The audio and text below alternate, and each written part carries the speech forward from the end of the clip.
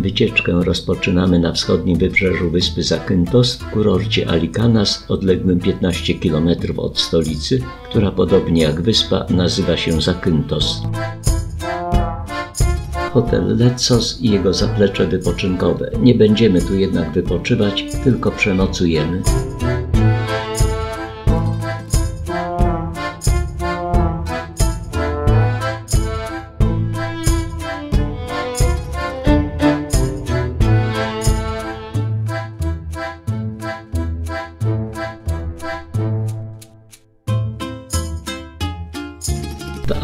Alikanas jest długa, wąska plaża z miękkim piaskiem i łagodnym zejściem do wody.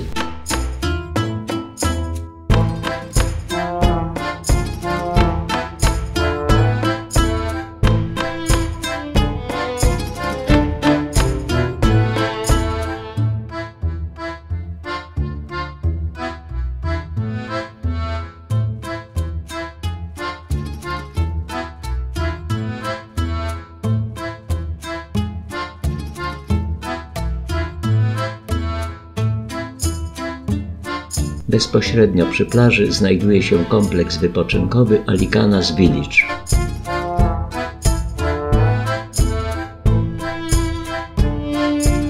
Wyruszamy z Alikanas na zwiedzanie wyspy. Jesteśmy na punkcie widokowym Katastari.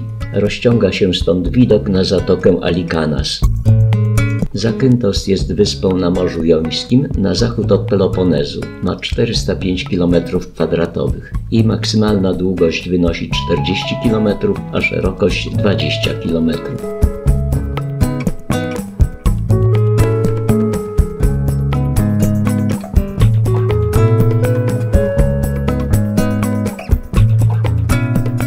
Oddali widać zarysy wyspy Kefalonia. Jest ona największa w archipelagu Wysp Jońskich.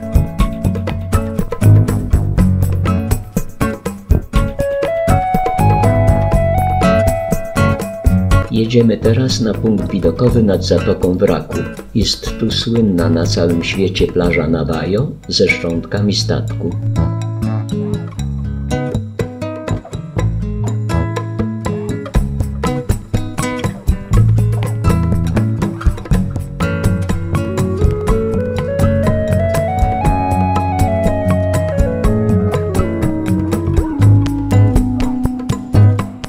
Wysoko zawieszonego niewielkiego pomostu można dostrzec daleko w dole wrak statku.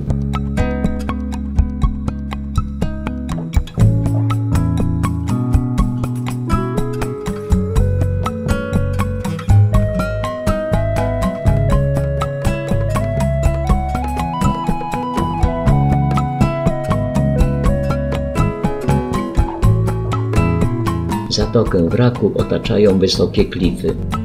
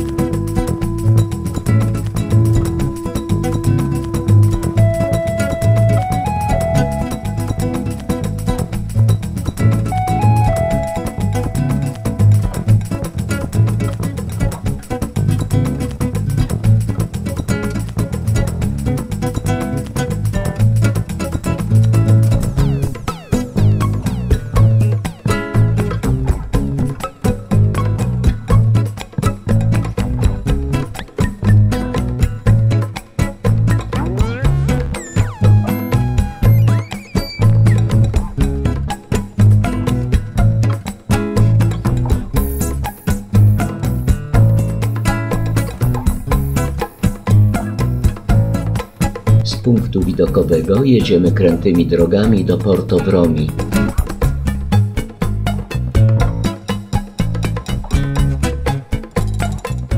Z Porto Vromi popłyniemy łodzią do Zatoki Wraku, by teraz dla odmiany obejrzeć z poziomu wody plażę Navajo i znajdujący się na niej wrak. Właśnie nadpływa nasza łódź.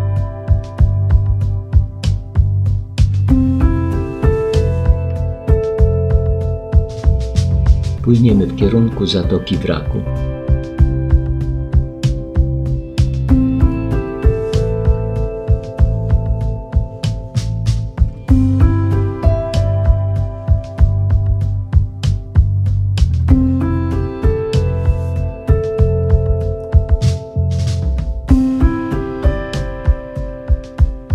Morze jest niespokojne i kapitan łodzi poinformował, że nie będzie można przybić do plaży.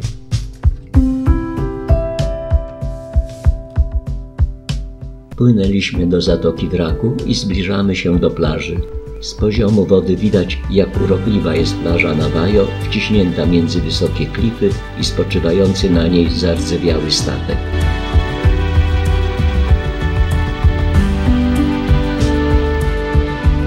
Ostatnio silny sztorm zabrał znaczny fragment wraku z jego środkowej części.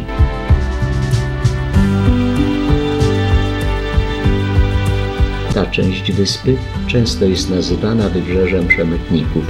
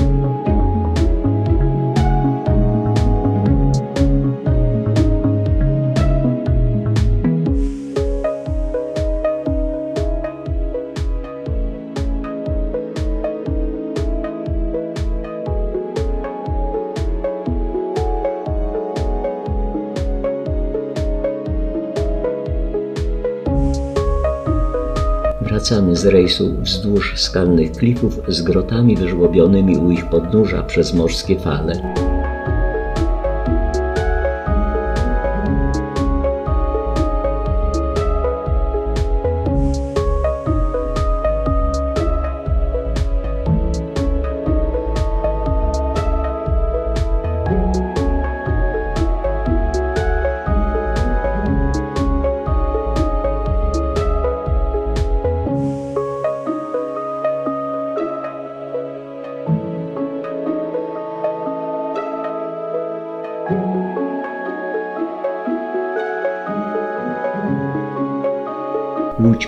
Do jednej z grot i mamy okazję podziwiać piękny błękit wody.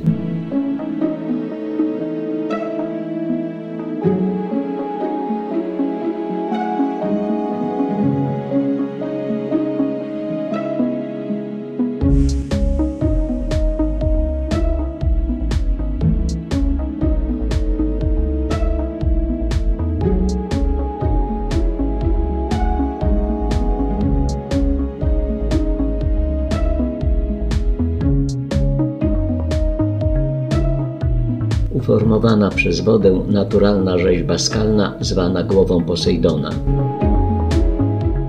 Z Porto Bromio jedziemy do małej wioski Echochora. W wiosce jesteśmy z powodu drzewa oliwnego, którego wiek eksperci oceniają nawet na 2,5 tysiąca lat. Ten czerwony dom przetrwał trzęsienie ziemi w 1953 roku. Ogromny platan. Mieszkańcy wsi twierdzą, że liczy 350 lat.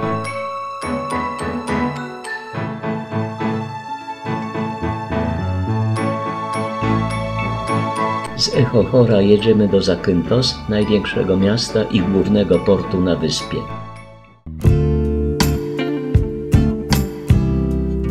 Plac Dionizosa Solomosa, upamiętniający greckiego poetę, którego poemat Hymn do Wolności jest hymnem narodowym Grecji.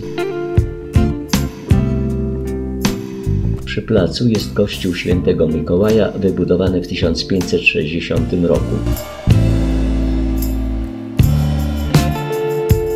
Pomnik twórcy hymnu Grecji, najdłuższego hymnu na świecie, liczącego 158 zwrotek.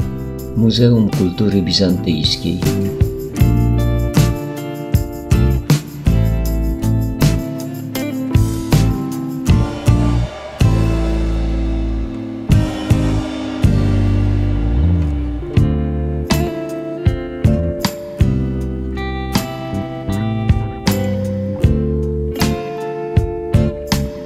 Zakynthos liczy około 17 tysięcy mieszkańców.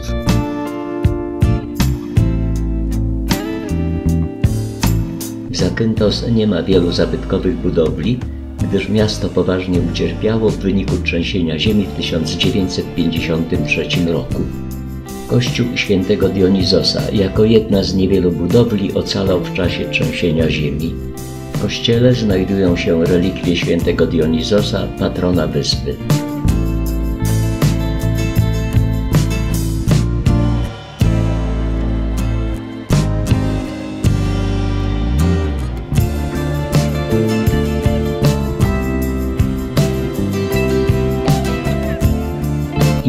Imponującym elementem kościoła jest jego wysoka, smukła dzwonnica w stylu weneckim.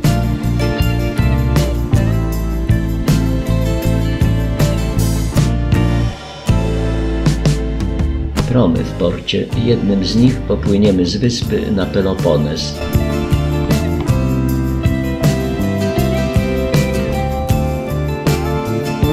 Nadbrzeżna promenada długości 1,5 kilometra.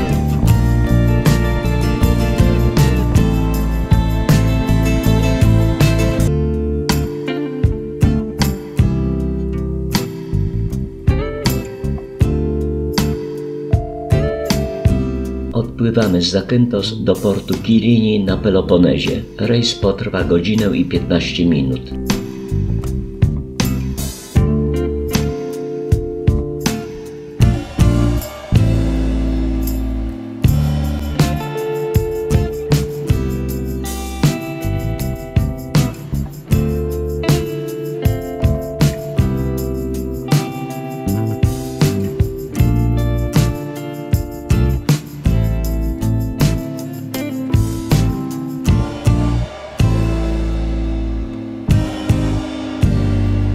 Kolejnym celem jest Olimpia.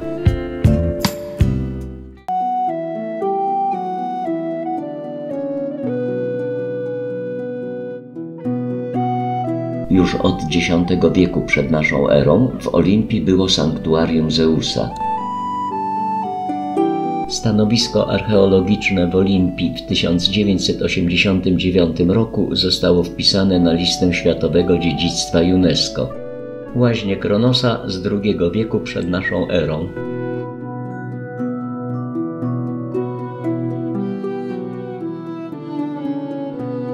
Gimnazjon z 250 roku przed naszą erą miał wymiary 220 na 120 metrów.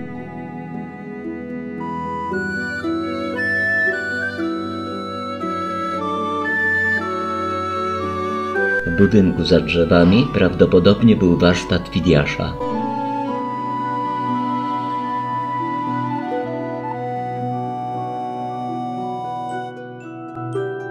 Filipeion, świątynia Filipa II Macedońskiego z IV wieku przed naszą erą.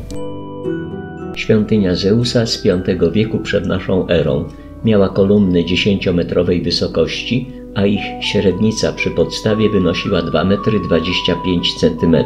Była największą świątynią na Peloponezie. Wewnątrz był 13-metrowej wysokości posąg Zeusa, dłuta Fidiasza. 9-metrowy piedestał, na którym stał posąg skrzydlatej bogini zwycięstwa Nike. W oddali widać świątynię Hery z końca VII wieku przed naszą erą. Na terenie Olimpii od 776 roku przed naszą erą odbywały się Igrzyska Olimpijskie. Przed świątynią Hery od 1936 roku za pomocą promieni słonecznych jest zapalany płomień olimpijski. Nimfajon z II wieku naszej ery.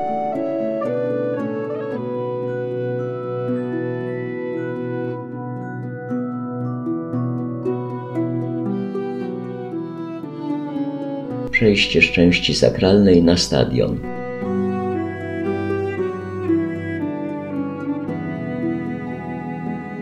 Stadion ma 192 metry długości i mieścił 45 tysięcy widzów. Przejście ze stadionu z powrotem do części sakralnej. Jeszcze rzut oka na świątynię Zeusa i opuszczamy ruiny Olimpii. Idziemy teraz do Muzeum Archeologicznego w Olimpii. Muzeum jest poświęcone głównie historii sanktuarium w Olimpii i zgromadzono tu artefakty od wczesnej epoki brązu do VII wieku naszej ery brązowe figurki zwierząt, dary wotywne dla Zeusa z VIII wieku przed naszą erą, skrzydlata postać kobieca z brązu. Ochronne elementy ekwipunku wojowników datowane na drugą połowę VI wieku przed naszą erą. Odrestaurowany fragment frontonu skarbca Megary z VI wieku przed naszą erą. Zeus trzymający Ganimedesa lew i delfin z terakoty. Dekoracja frontonu zachodniego świątyni Zeusa, bitwa pomiędzy lapitami a centaurami. Dekoracja frontonu wschodniego, scena przed pojedynkiem Pelopsa z Oinomaosem. Z lewej posąg Marka Aureliusza, a dalej posąg Hadriana.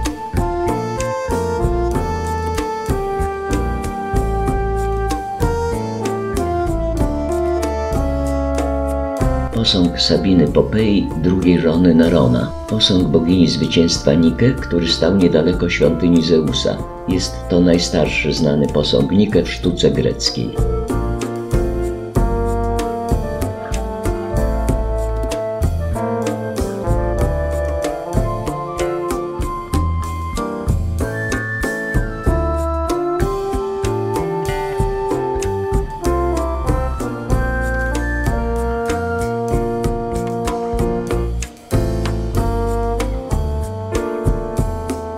Drodze z Olimpii do Mistry na krótko zatrzymujemy się w.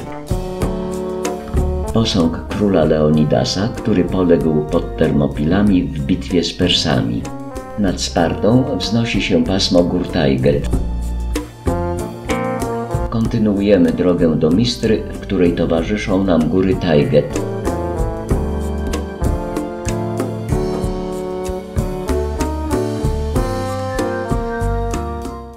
Mistra to niezamieszkałe już, ufortyfikowane miasto średniowieczne, położone w pobliżu Sparty na zboczach gór Tajget. Jesteśmy w górnym mieście.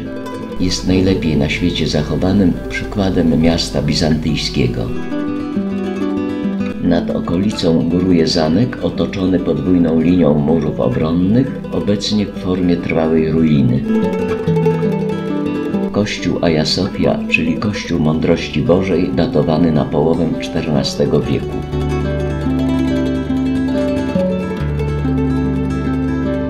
Pozostałości dzwonnicy.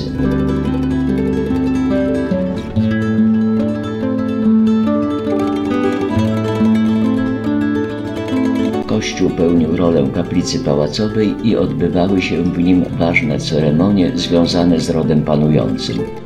Pełnił też funkcję nekropolii, gdyż odnaleziono tu liczne groby członków ówczesnej arystokracji.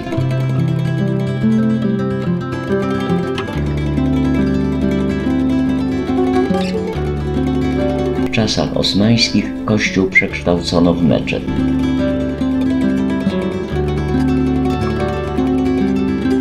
Zachowany fragment posadzki wykonanej z wielobarwnego marmuru.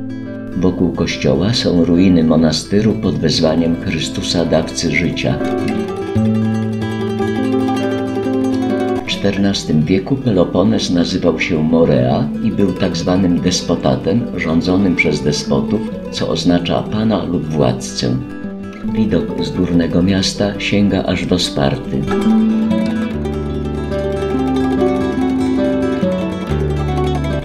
Kościoła Aja Sofia znajduje się Pałac Despotów, który był drugim najważniejszym pałacem w Cesarstwie Bizantyjskim po Konstantynopolu.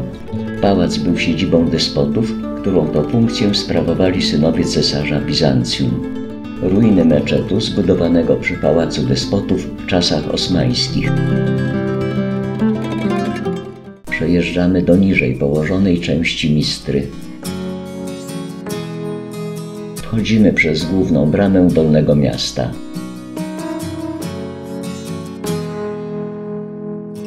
Górna część bramy.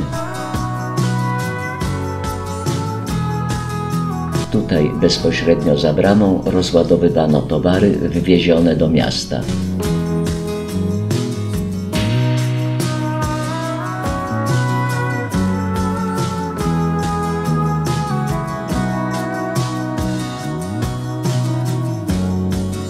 Żeński klasztor Pantanasa, dedykowany królowej wszystkich, czyli Maryi, został poświęcony w 1428 roku i jest jedynym zamieszkałym na tym terenie. Cały zespół architektoniczny Mistry, obejmujący zamek, pałac despotów, kościoły i klasztory, został wpisany na listę Światowego Dziedzictwa UNESCO. Katedra świętego Demetriusza jest najstarszym bizantyjskim obiektem sakralnym w Mistrze. Jej budowę ukończono w 1292 roku.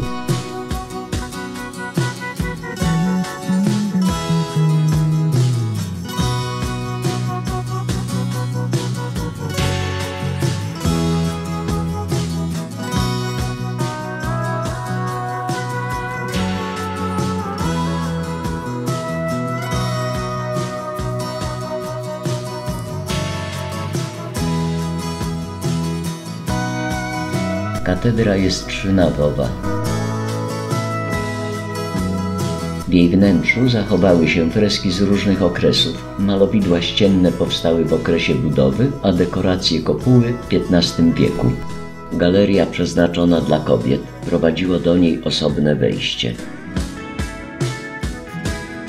Dwugłowy orzeł, będący herbem bizantyjskiej dynastii paleologów, Upamiętnia on koronację ostatniego cesarza Bizancjum Konstantyna XI Paleologa, która odbyła się w tej katedrze 6 stycznia 1449 roku.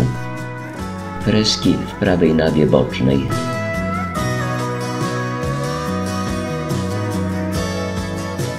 Z Mistry jedziemy do Monembazji.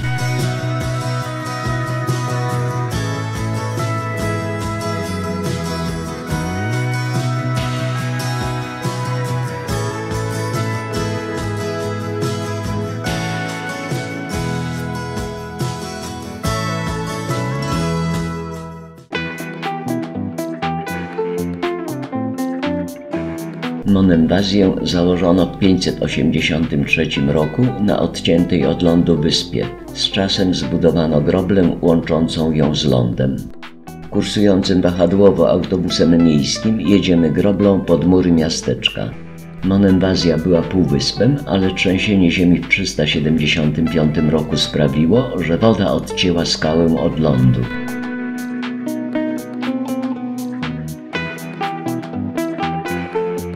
Widok z nadbramy zachodniej na drogę dojazdową do miasteczka.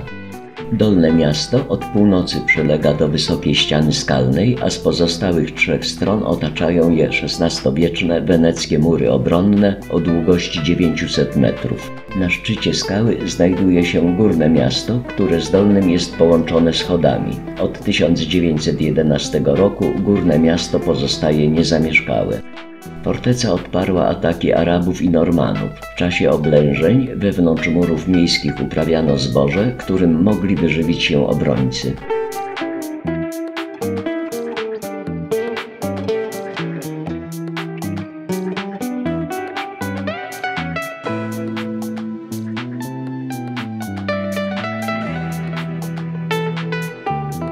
Na dolne miasto składa się labirynt wąskich ulic i przejść.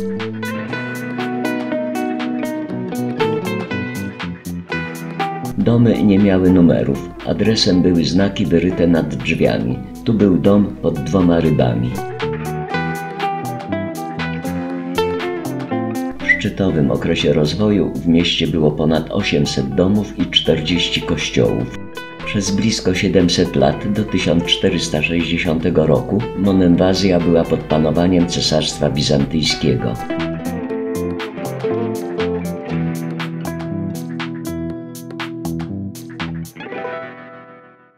Uliczka na murach obronnych.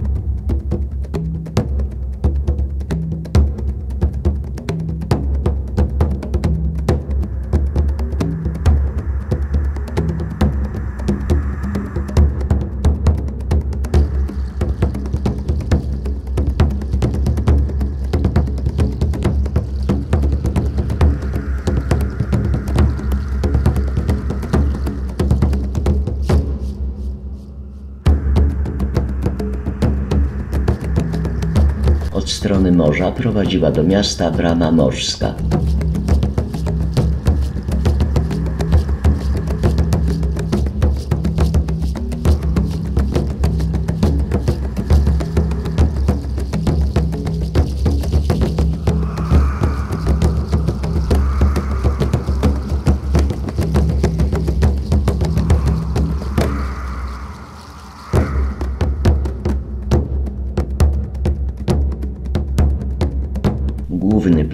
Dolnego Miasta.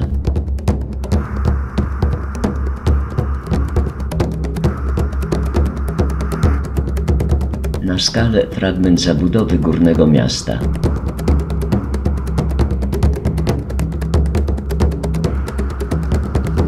Dzwonnica katedry pod wezwaniem Chrystusa Pojmanego na placu głównym. Fragment zabudowy Dolnego Miasta widziany z głównego placu.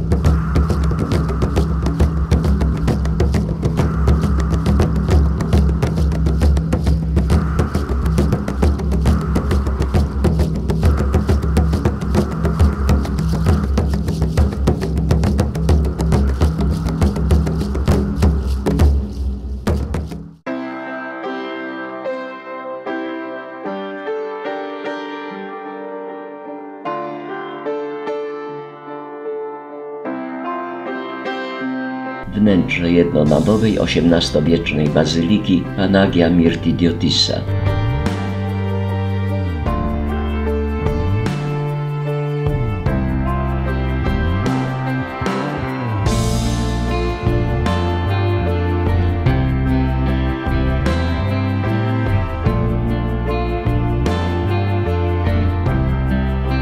Labiryntem wąskich uliczek wróciliśmy na plac główny, gdzie kończymy zwiedzanie Monemwazji. Ostatni rzut oka na skałę zwaną greckim Gibraltarem.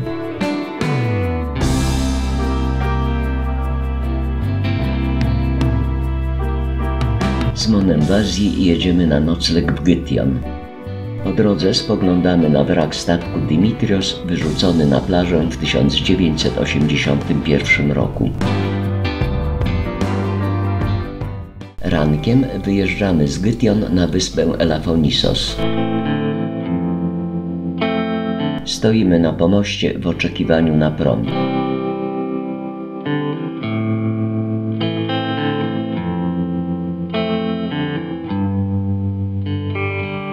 Prom właśnie wypłynął z Elafonisos, która znajduje się 2 km od brzegów Peloponezu.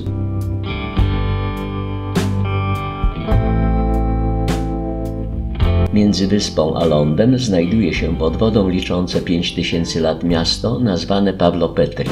Zniknęło ono pod wodą w wyniku trzęsienia ziemi i zostało odkryte w 1967 roku. Jest badane przez podwodnych archeologów. Wyspa jest niewielka, liczy około 20 km2. Na stałe zamieszkuje ją kilkaset osób. Natomiast w sezonie, w lipcu i sierpniu, ze względu na jej piękne plaże, wyspę odwiedza 3000 turystów i 1600 samochodów każdego dnia. Po 15-minutowym rejsie przypłynęliśmy do portu w małej wiosce rybackiej, zwanej podobnie jak wyspa Elafonisos. Stąd jedziemy do plaży Simos, najsłynniejszej na wyspie. Niestety pogoda nam nie sprzyja, mimo że to już początek maja jest zaledwie kilkanaście stopni i na dodatek wieje porywisty, zimny wiatr. Nie ma mowy o kąpieli czy plażowaniu. Uroku dodają plaży wydmy sięgające 10 metrów.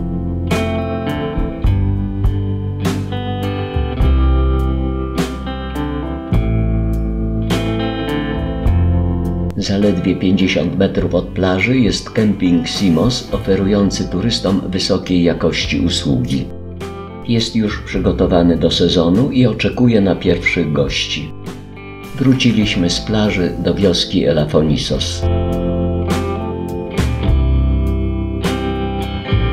Jest tu rozwinięta baza gastronomiczna i noclegowa, głównie w postaci kwater prywatnych i pensjonatów.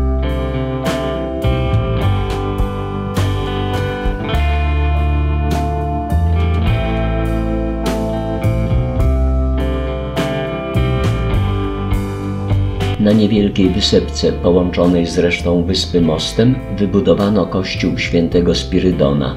Kościół został wybudowany w 1858 roku i jest jedynym historycznym obiektem na wyspie.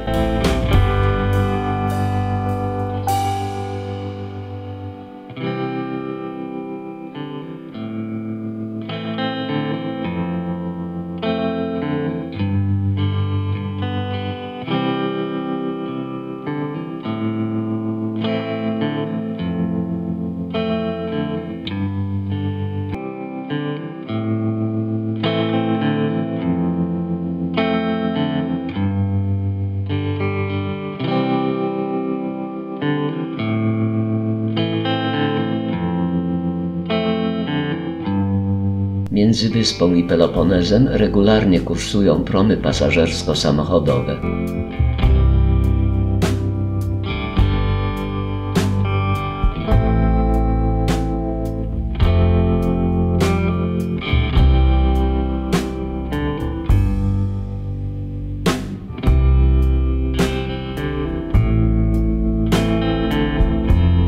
Wracamy z wyspy do Gytion.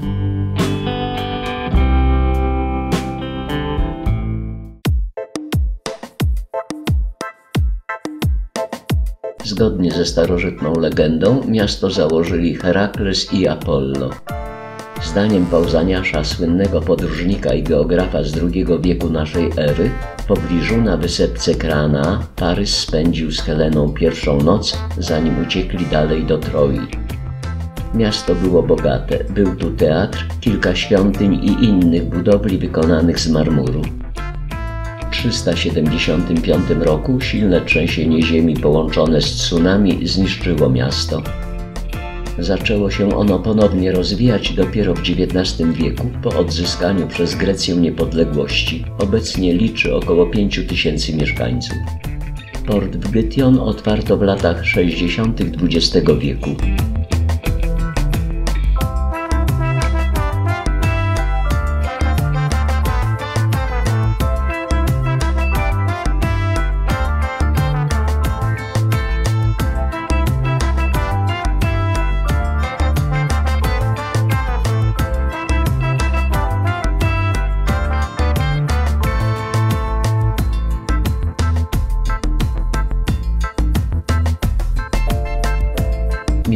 Wieża Tsanetakis zbudowana w 1829 roku. Obecnie jest tu Muzeum Historyczno-Etnograficzne.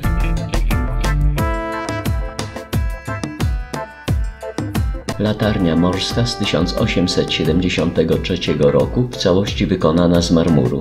Konstrukcja jest ośmiokątna i ma 25 metrów wysokości. Jest tu Muzeum Morskie.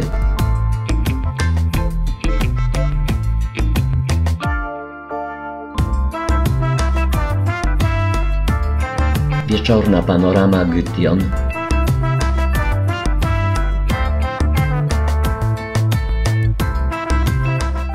Rankiem przyjechaliśmy do Areopolii, co znaczy miasto Aresa, boga wojny. Na centralnym placu stoi pomnik Beja Petrosa Mavro Michalisa.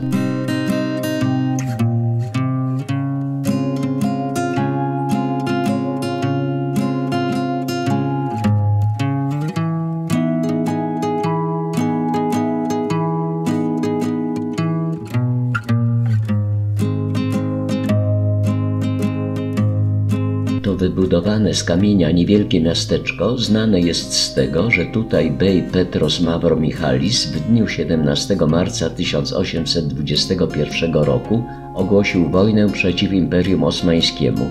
Dało to początek wojnie niepodległościowej, w wyniku której Grecy zrzucili jarzmo tureckiej okupacji. Dlatego miasto świętuje Dzień Niepodległości 17 marca, a nie 25 marca jak reszta kraju placyk dedykowany rewolucji z 17 marca.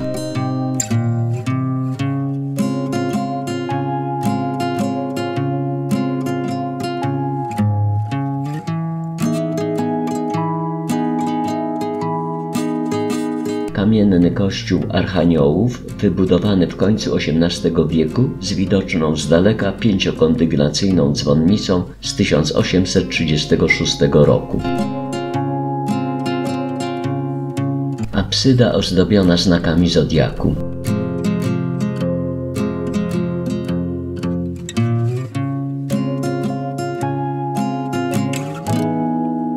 Areopoli jest małym miasteczkiem liczącym tysiąc mieszkańców.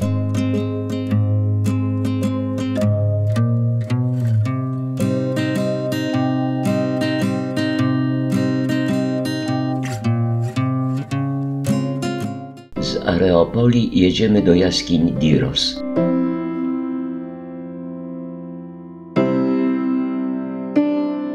Jaskinie Diros są położone nad zatoczką o tej samej nazwie.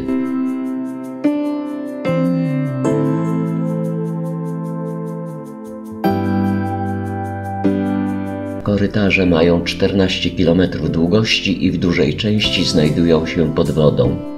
Turystom udostępniono 1500 metrów, z czego 1200 metrów przebywa się łódką, a 300 metrów pieszo. Niestety, w wyniku obfitych opadów deszczu poziom wody w jaskiniach znacznie się podniósł i nie mogliśmy skorzystać z łódek. Pozostała nam tylko piesza część trasy. Speleolodzy znaleźli w jaskiniach ślady ludzi z okresu prehistorycznego, broń, fragmenty naczyń, a także szczątki zwierząt.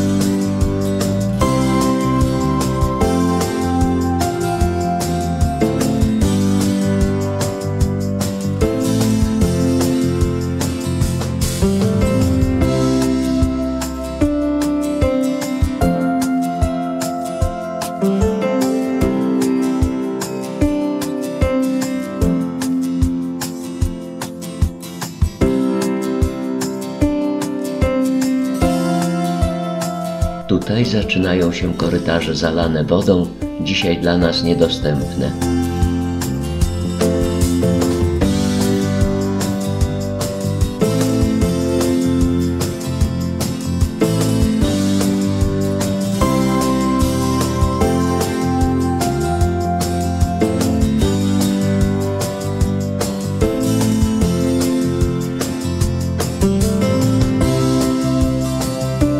Trasa naszej wędrówki prowadzi teraz do Nafplio.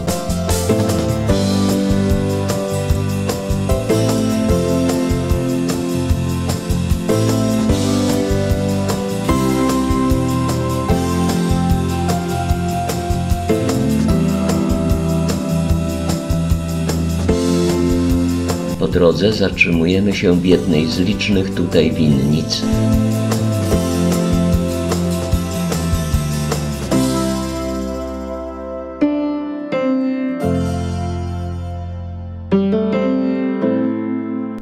Właściciela winnicy w formie wieży obronnej.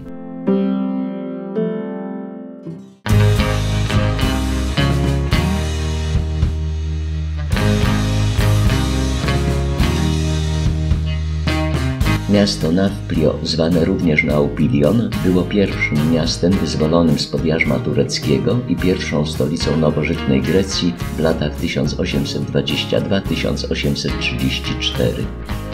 Zwiedzanie rozpoczynamy od rozległej mariny, gdzie natrafiliśmy na galę jachtów, które przypłynęły tu z jacht klubu w Pireusie.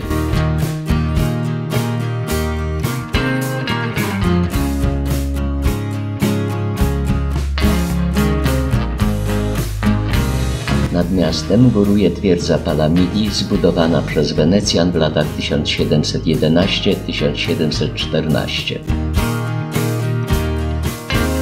Zamek Burci na wysepce w porcie zbudowany przez Wenecjan w 1473 roku. Plac Syntagma, czyli Plac Konstytucji.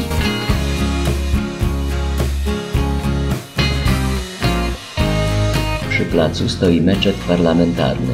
Tu po wyzwoleniu odbywały się posiedzenia greckiego parlamentu, zanim stolica nie została przeniesiona do Aten. Głębi Muzeum Archeologiczne wcześniej wenecki arsenał. Wąskie uliczki Starego Miasta. Według tradycji miasto założył Nauplios, syn Posejdona i tu na świat przyszedł jego potomek Palamedes, jeden z bohaterów wojny trojańskiej.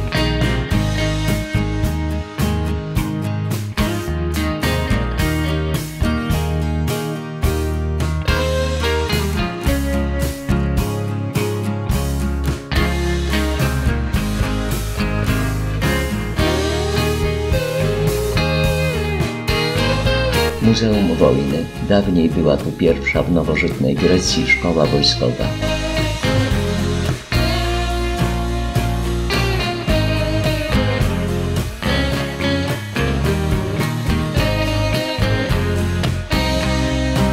Najstarszy meczet w mieście prawdopodobnie z drugiej połowy XV wieku.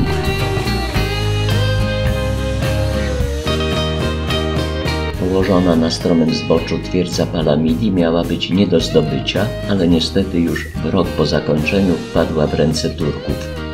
Plac Trzech Admirałów. Pomnik pierwszego prezydenta Grecji Ioannisa Kapodistriasa. Pomnik Teodorosa Kolokotronisa, bohatera walk o niepodległość. Wystawa rzeźb z marmuru. Efekt sympozjum rzeźbiarzy, które odbyło się w Nafplio rzeźba Anioł Dziewicy. Zwycięstwo.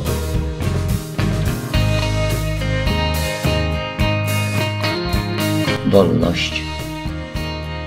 Bubulina, bohaterka walk o wyzwolenie Grecji. Drama lądowa z 1708 roku. Kiedyś było to jedyne wejście do miasta zamykane o zachodzie słońca pomnik Stajkosa Stajkopoulosa, uczestnika wojny o niepodległość Grecji. Przy bramie lądowej kończymy nasz pobyt w Nafplio. Dojeżdżamy do kanału korynckiego. Kanał przecina przesmyk koryncki, łącząc Morze Jońskie z Morzem Egejskim. Został wykonany w 1893 roku ma 6343 metry długości i 24,6 metra szerokości na poziomie wody. Nad kanałem są trzy mosty drogowe, most kolejowy, a na krańcach kanału dwa mosty zwodzone opuszczane na dno.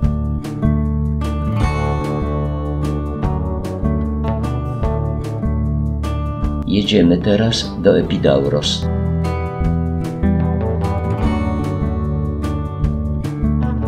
Epidauros było starożytnym greckim miastem na Peloponezie. Teatr w Epidauros powstał około 330 roku przed naszą erą. To najlepiej zachowany teatr grecki. Ma 52 rzędy siedzeń ułożonych w dwóch kondygnacjach. Pierwsza liczy 32 rzędy, a druga 20. Teatr mógł pomieścić do 14 tysięcy widzów. Budowla jest swoistym fenomenem akustycznym. Rozmowa w jej centralnym punkcie jest dobrze słyszalna na całej widowni, bez względu na miejsce zajmowane przez widza. Epidauros było sanktuarium Asklepiosa, boga sztuki lekarskiej. 70-metrowa sypialnia dla pacjentów oczekujących cudownego uzdrowienia podczas snu. Tu był Katagogion z IV wieku przed naszą erą, rodzaj hotelu ze 160 pokojami dla pielgrzymów. Przybywali tu oni na leczenie.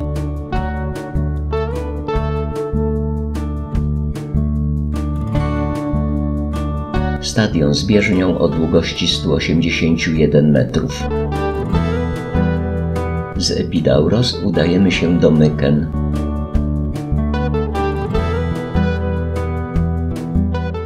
Zwiedzanie Myken rozpoczynamy od skarbca Atreusza, zwanego także grobem Agamemnona. Został zbudowany około 1250 roku przed naszą erą.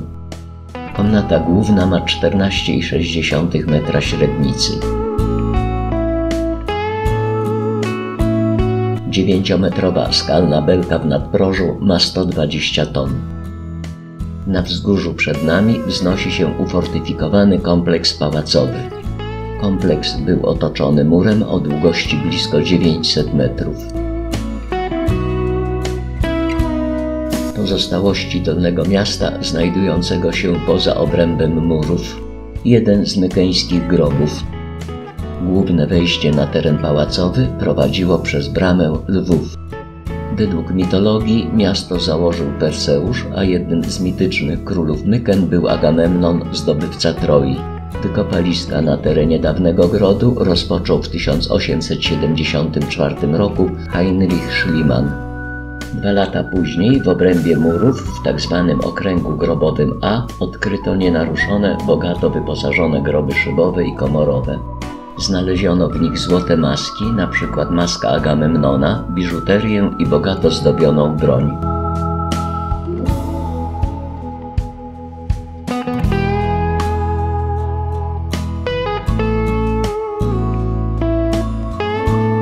Znaleziska są datowane na XVI wiek przed naszą erą. Można je obejrzeć w Muzeum Archeologicznym w Atenach.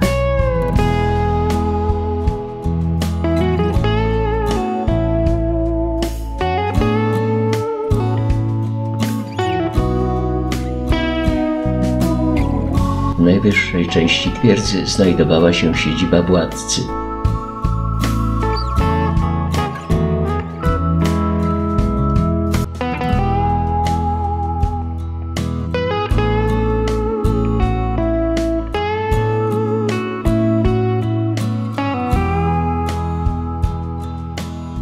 Stanowisko archeologiczne w Mykenach zostało wpisane na listę Światowego Dziedzictwa UNESCO w 1999 roku.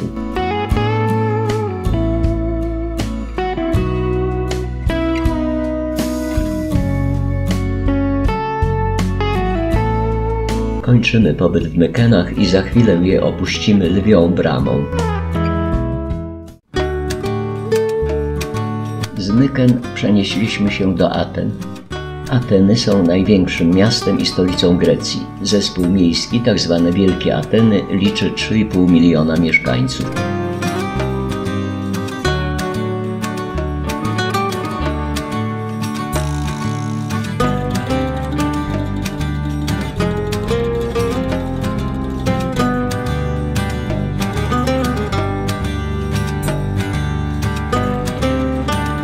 plac Omonia.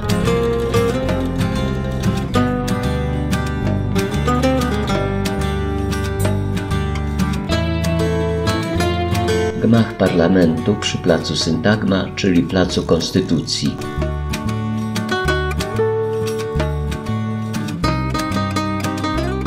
Przed parlamentem jest grób nieznanego żołnierza.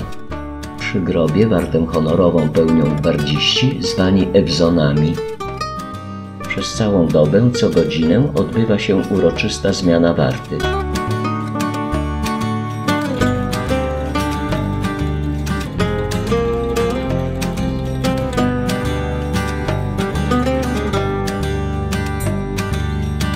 Ewzoni są ubrani w plisowane krótkie spódniczki, tak zwane fustanele, które są zaprasowane w 400 fałd upamiętniających 400 lat niewoli tureckiej. Na głowie noszą czerwone czapki z frędzlami na wzór turecki. Na nogach mają białe getry z doczepionymi za kolanami pomponami.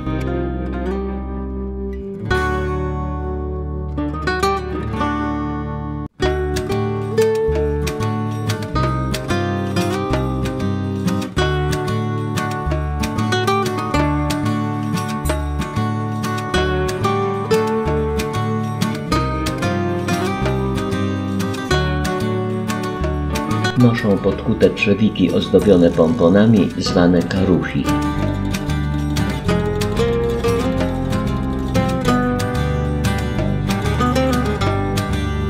Ten krok to kopniak skierowany w stronę tureckiego najeźdźcy, którego następnie żołnierze strzepują ze swojego obuwia.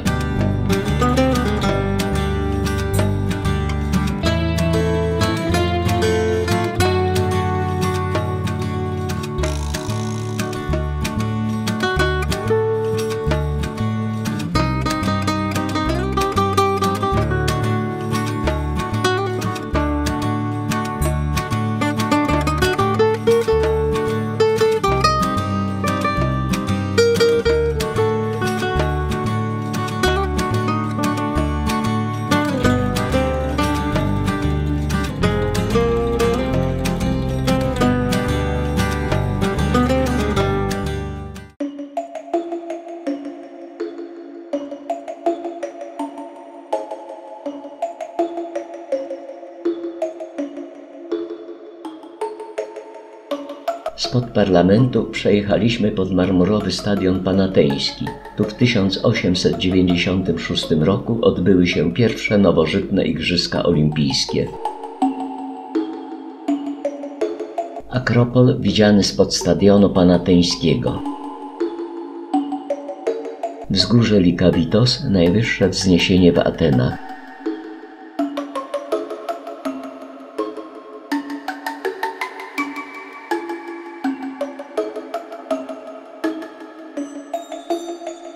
Fontanna na placu Omonia. Jej centralna dysza wyrzuca wodę na wysokość 20 metrów.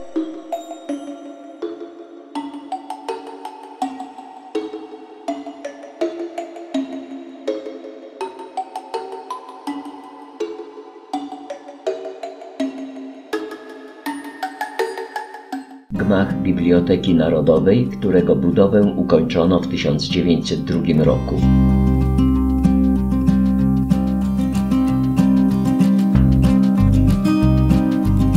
Uniwersytet Narodowy imienia Kapodistriasa został założony w 1837 roku i jest najstarszym uniwersytetem na Półwyspie Bałkańskim. Mieści się tu rektorat, senat i sala wielkiej ceremonii. Odbywały się tu wiece polityczne, protesty społeczne i demonstracje studentów.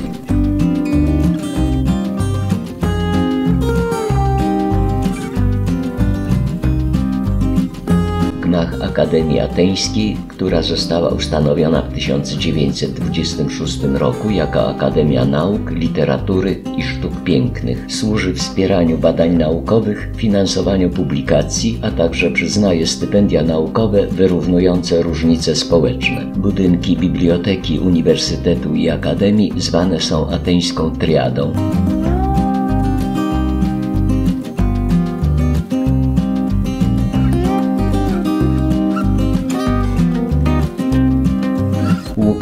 Triumfalny Hadriana. Następnego ranka kontynuujemy zwiedzanie Aten. Jesteśmy pod Areopagiem, wzgórzem Aresa, boga wojny. Na wzgórze prowadzą nieczynne już kamienne schody. Dla turystów przygotowano wygodne wejście po metalowych schodach. Ze wzgórza poświęconego Aresowi i Eryniom roztacza się rozległy widok na Ateny i górskie pasmo na horyzoncie. Na pierwszym planie widać agorę i zrekonstruowaną kolumnową halę Atalosa. Z Areopagu można też z bliska podziwiać Akropol. Niestety z tamtej strony świeci słońce i widok jest w tej chwili nie najlepszy. W drodze na Akropol zatrzymujemy się przy Odeonie zbudowanym przez Heroda Attykę na południowo-zachodnim stoku wzgórza. Odeon miał 32 rzędy widowni i mieścił 5 do 6 tysięcy widzów. Ma doskonałą akustykę i corocznie odbywają się tu spektakle i koncerty w ramach festiwalu ateńskiego. Wzgórze Filopaposa z pomnikiem tego rzymskiego senatora i konsula. Na Akropol prowadzi monumentalne wejście zwane propylejami. Nie zostały one ukończone, gdyż prace przerwano w 432 roku przed naszą erą na rok przed wybuchem wojny peloponeskiej.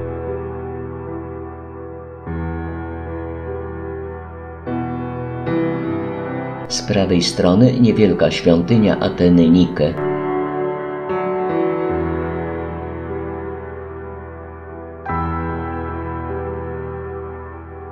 Za kolumnami propylejów widać Partenon.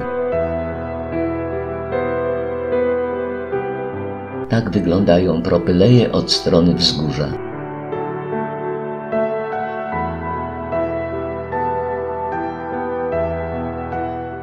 Po lewej stronie za propylejami znajduje się Erechteion, świątynia dedykowana Posejdonowi i Atenie.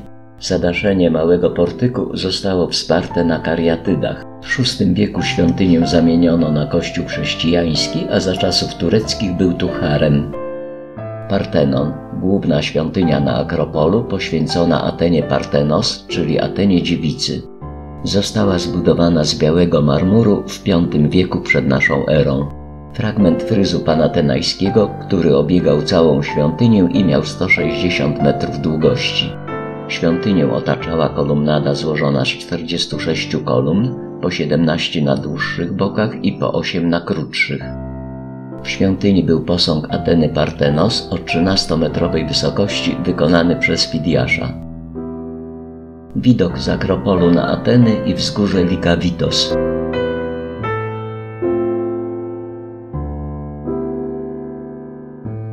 U stóp Akropolu jest teatr Dionizosa z VI wieku przed naszą erą. Był wzorem architektonicznym dla wszystkich późniejszych teatrów greckich.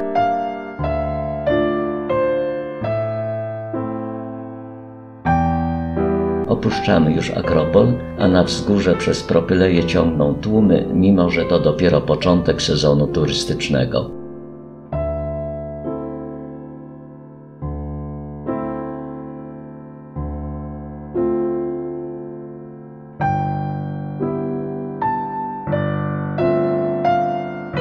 Zeszliśmy do podnóża Akropolu, kierując się na Agorę, brama Ateny z XI roku przed naszą erą na rzymskiej Agorze. Na końcu widać ośmioboczną wieżę wiatrów 13-metrowej wysokości. Dołem biegnie najstarsza linia ateńskiego metra. Chodzimy na teren greckiej Agory dwukondygnacyjna stoła Atalosa. Jest to zadaszona kolumnada chroniąca przed deszczem i słońcem. Została zrekonstruowana w latach 50. XX wieku. Za kolumnadą znajdowały się sklepy, po 21 na każdym piętrze. Obecnie mieści się tu Muzeum Agory. Na Agorze znajdowały się świątynie, biblioteki i budynki użytku publicznego. Na Agorze odbywał się handel, wielkie zgromadzenia mieszkańców, debaty polityczne, wybory urzędników i sądy skorupkowe. Tu stało dziesięć pomników herosów eponimów z V wieku przed naszą erą. Ołtarz Zeusa Agoryjskiego. Nad Agorą na wzniesieniu Kolonos znajduje się Tezeion, świątynia dedykowana Hefajstosowi i Atenie. Świątynia liczy 13 kolumn na dłuższym boku i 6 na krótszym. Zbudowano ją w V wieku przed naszą erą.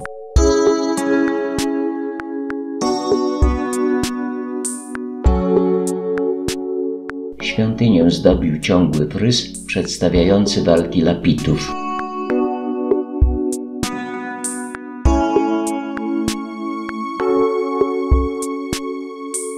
Widok na Agorę spod świątyni Hefajstosa i Ateny.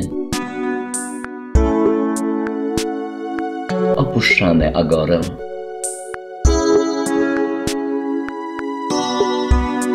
Jesteśmy teraz na placu Monastiraki. Kościół pod wezwaniem zaśnięcia Bogu Rodzicy, prawdopodobnie z X wieku, stoi nieco poniżej poziomu placu. Dworzec Monastiraki z 1895 roku. Meczet Cistarakis Aga pozostałość po osmańskim panowaniu w Grecji. W tle Akropol. Kościół kapnika Rea w stylu bizantyjskim z połowy XI wieku, jeden z najstarszych w Atenach.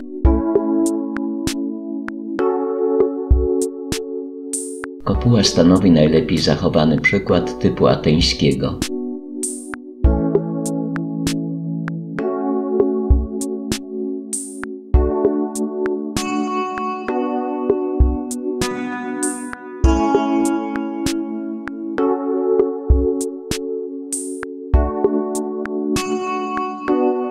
Największe greckie muzeum, Narodowe Muzeum Archeologiczne. Na 8000 m2 zgromadzono ponad 20 tysięcy eksponatów od czasów prehistorycznych do czasów rzymskich. Amfora z VIII wieku przed naszą erą. Prezentowane dalej eksponaty pochodzą głównie z okresu od VI do IV wieku przed naszą erą. Posąg nagiego młodzieńca typu Kuros. Statua Sfinksa. Z prawej strony odlew zrekonstruowanej steli grobowej ze Sfinksem. Stela młodego oszczepnika.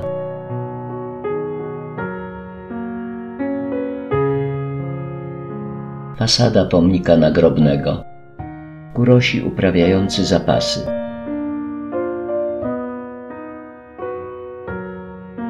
Posąg Zeusa lub Posejdona wykonany z brązu.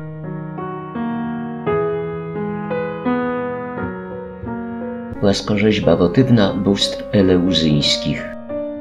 Płyta nagrobna znaleziona na peryferiach Tebów. Zbiory egipskie liczą 6000 artefaktów, z czego 1100 udostępniono zwiedzającym. Uznawane są one za jedną z najlepszych kolekcji sztuki egipskiej na świecie.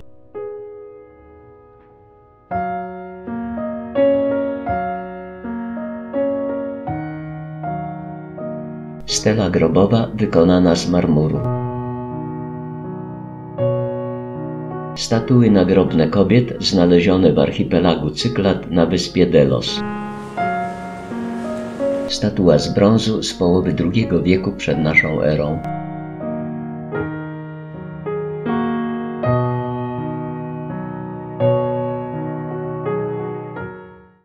Pogrzebowa zwieńczona popiersiami gryfów jako symbolami nieśmiertelności. Po środku nagrobek postaci małej świątyni greckiej.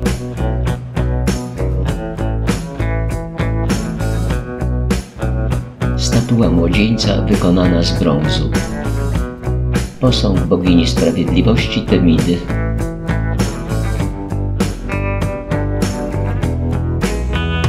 Wykonana z marmuru statua Posejdona z II wieku przed naszą erą. Afrodyta, Pan i Eros, który przybył jej z pomocą. Brązowa rzeźba rzymskiego cesarza Augusta.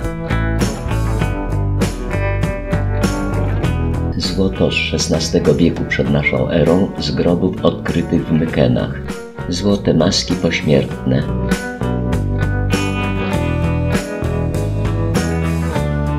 Prawej maska zwana maską Agamemnona.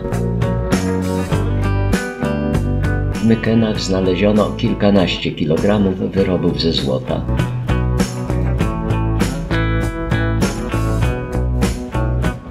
Bazon w stylu ośmiornicy. U góry po prawej złoty ryton w kształcie głowy lwa.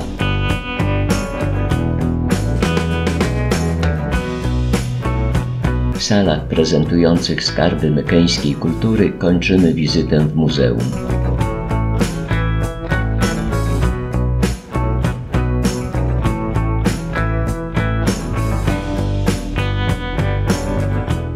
Opuściliśmy Ateny i jedziemy na powrót w kierunku Peloponezu. Docieramy ponownie nad kanał koryncki. Przekopanie kanału spowodowało, że Półwysep Peloponeski w sensie geograficznym stał się wyspą. Nadal jednak zachowano jego pierwotną, historyczną nazwę.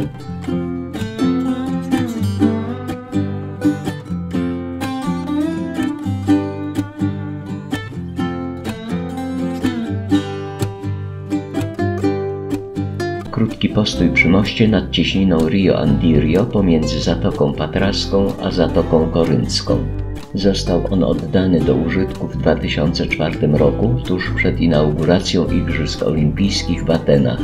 Ma 2883 metry długości i znacznie skrócił czas podróży z kontynentu na Pelopones. Kosztował 630 milionów euro. Ruiny weneckiego fortu artyleryjskiego.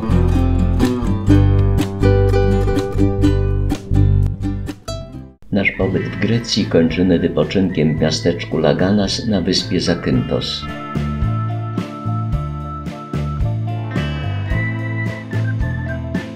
Kilkukilometrowa piaszczysta plaża nad zatoką Laganas. Teraz nie ma tu tłumów, bo sezon dopiero się zaczyna.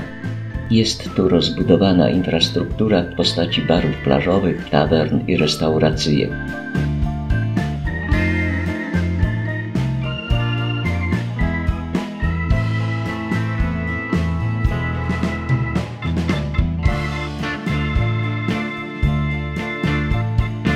Laganas jest latem gwarne i tłoczne. Przybywają tutaj głównie ludzie młodzi, lubiący imprezować.